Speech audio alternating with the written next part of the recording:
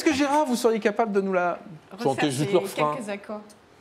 Euh, et on m'appelle. Ah, Attendez, attendez, on va ramener le matériel. Vous savez le refaire avec Ah, une non, petite guitare, non, Je ne saurais pas le Ah. refaire Alors, avec sans guitare. on peut peut-être le faire avec la musique Avec de fond.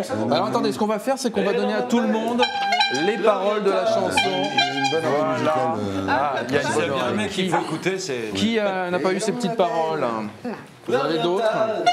Alors hein. attention, est-ce qu'on peut se mettre la musique un peu plus fort et on va chanter avec Gérard cette chanson ah. Je te laisse démarrer. Hein. Ouais, c'est vous qui démarrez. Hein. Juste le refrain. Il touche un peu la guitare, hein, Enrico. c'est moi qui joue. Elle en